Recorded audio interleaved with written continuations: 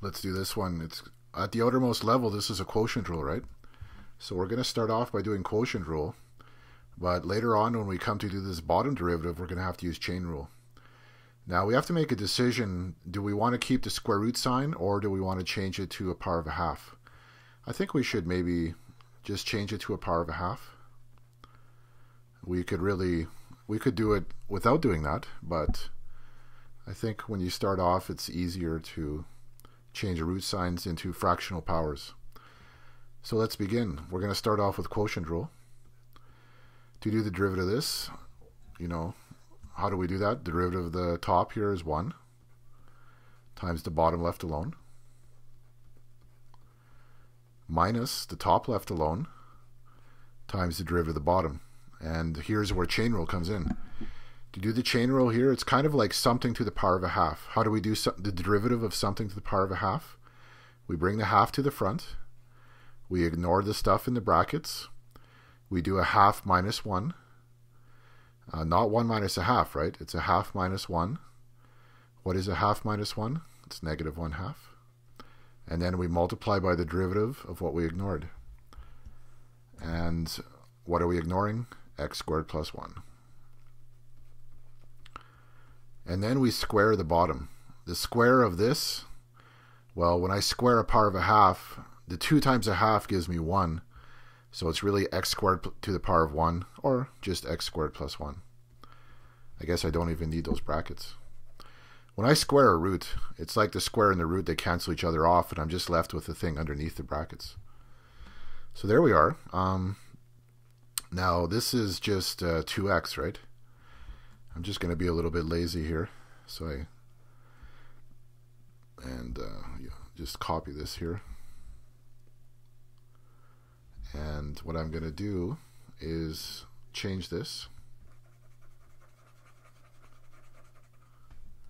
The derivative of x squared plus 1 is just 2x. So there we are right now. Um,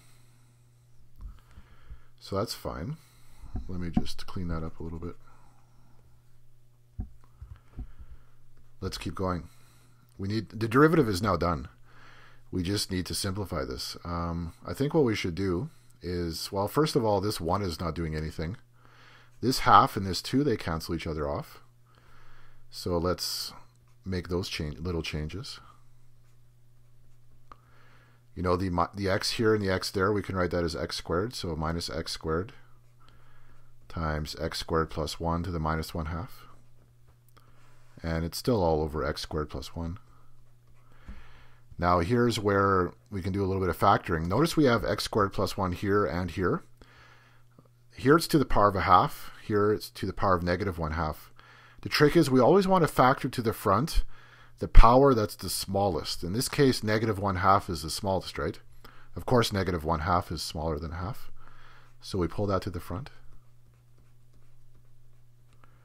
And uh, let's just use some square brackets here.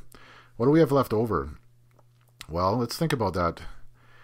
What do you multiply x squared plus 1 by to get x squared? Sorry, what do we, if you have x squared plus 1 to the negative 1 half, what do you multiply that by to get x squared plus 1 to the positive half?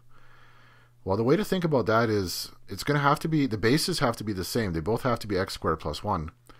And you know when you multiply two powers like that, you add the exponents, right? So what do you add to negative 1 half to make it into positive 1 half? Well, if you think about it, it's, it's 1, right? Negative 1 half plus 1 is positive 1 half.